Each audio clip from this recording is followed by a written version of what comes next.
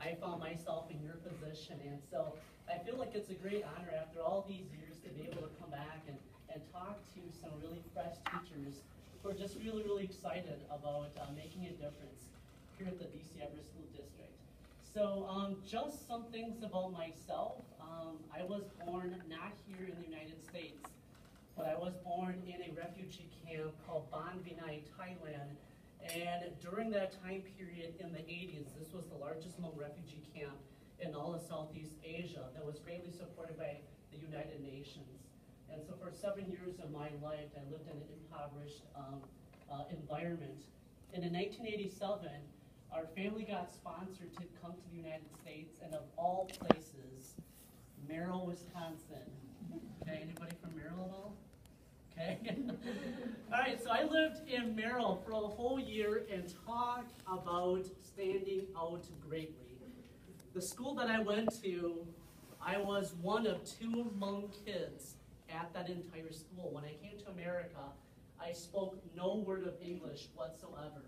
And so talk about a really terrifying experience, not only the fact that you have been transported from Asia into North America, but you come over here and you're in an environment in which you can't communicate with anyone else.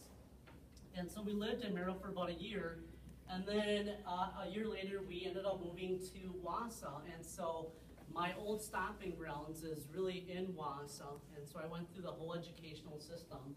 And so in uh, 2000, I graduated from high school at Wausau West. My wife and I did it for a long time, month and a half, okay? All right, I just figured if she's the one I'm gonna marry, well just save all that money on the dating costs, right?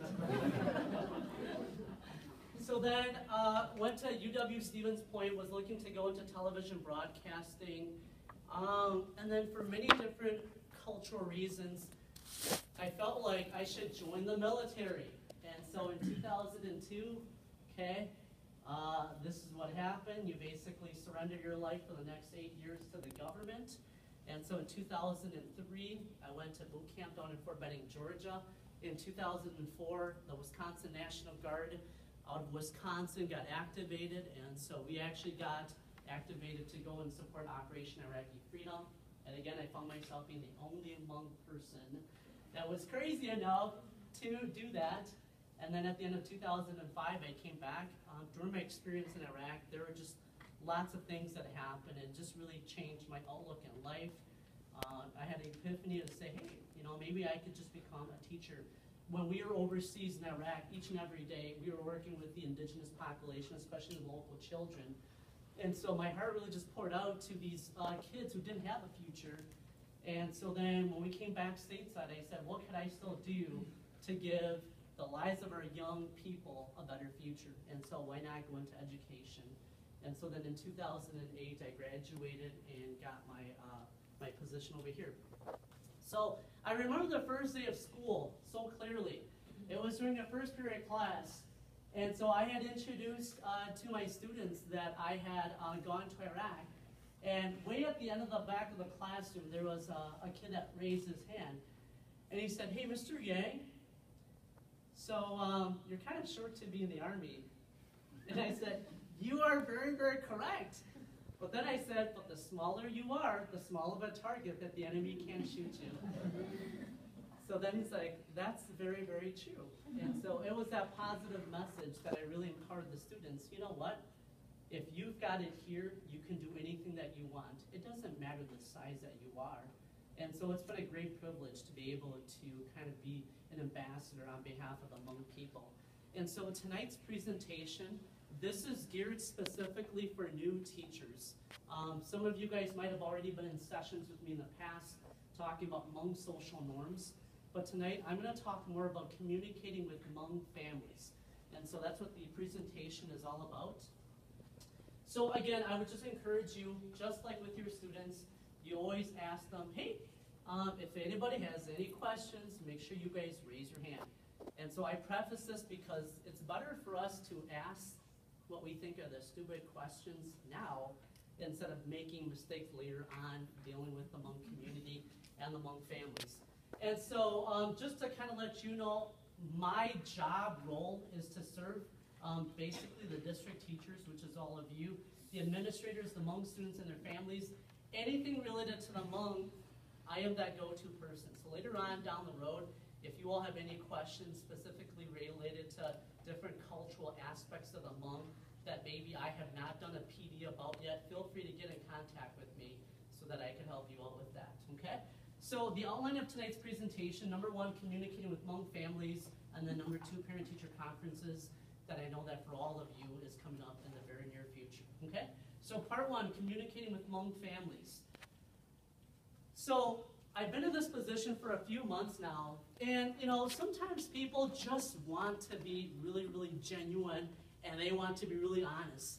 And so they're, they're gonna ask me, Yao, how are your Hmong families different?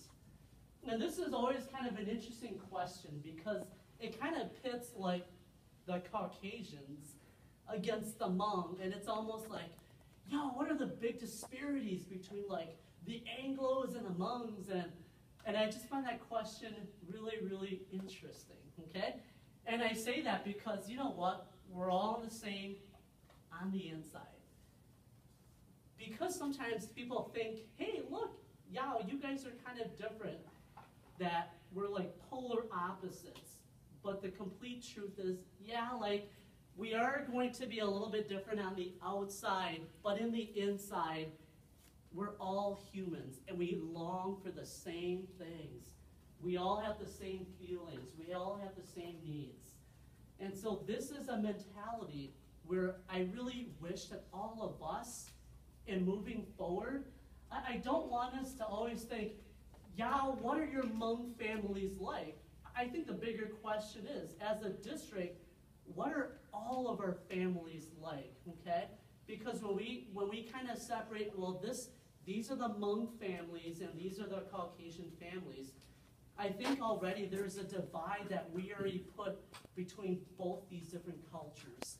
And so, if at all possible, I really think that if we could erase that mentality of, yeah, what are your Hmong families like? How are you all different? We're really not too much we're different. Physically, we're different, inside, we're all the same, okay? We have a lot more in common than we do with our differences. I, I want us to remember that. That here at DC Everest, yeah, I may be Hmong, but you know what? I live the same life as all of you. Your students, regardless of what color they are, they live the same life overall, the same thing for the family too, okay? So just to prove to all of you that we live normal, regular lives, just like you all, you know, on Friday nights or Saturday nights, we love to be able to get with our friends and our families and just have a good old time. Just like all of you that love the fairly cold winters here in central Wisconsin, we all try to make the best of what we have, okay? And last but not least, you know, we're so blessed to live in central Wisconsin with the great natural resources that we have. And so, um, I have six kids, okay? And so, uh, just yesterday, one of the teachers was like, hey, yeah, how many kids do you have? And I said, I have six kids. And then uh, she said, Well, how old is your oldest one? And I said, Seven. so then she said, Is that possible? I'm like, Well, I guess I'm a living proof of that. But, um, yeah.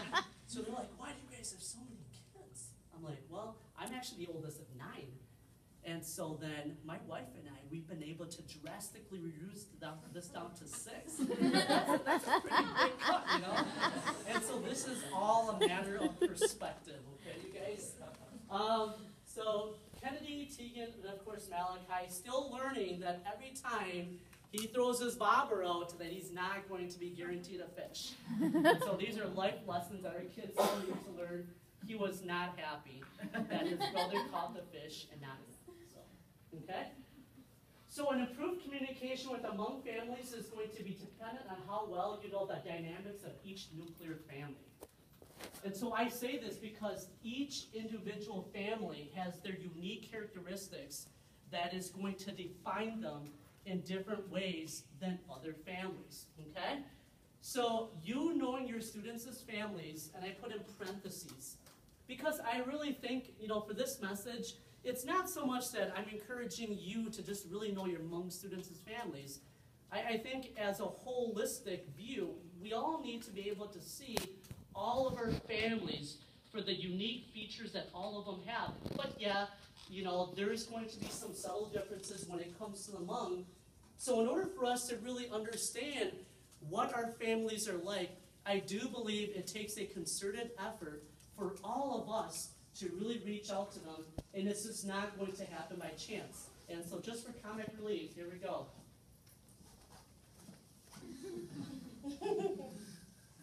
Ain't that the truth, right, you guys? Okay? So this is going to take a lot of effort on all of our parts, okay? To be able to know the dynamics of the different families that you and I teach. No two families are alike. What works with one family might not work with the next family. So I, I don't want you guys to be able to get these generalizations that like, well, this is what Yao said of the Hmong families, and so when I'm dealing with the Her family, they should just do the same thing as dealing with the Tao family. No, they're all going to be very, very unique too. And this is something that we all have to remember, okay? So that being said, the major difference for the Hmong is, okay, it's that cultural piece, that Hmong cultural aspect.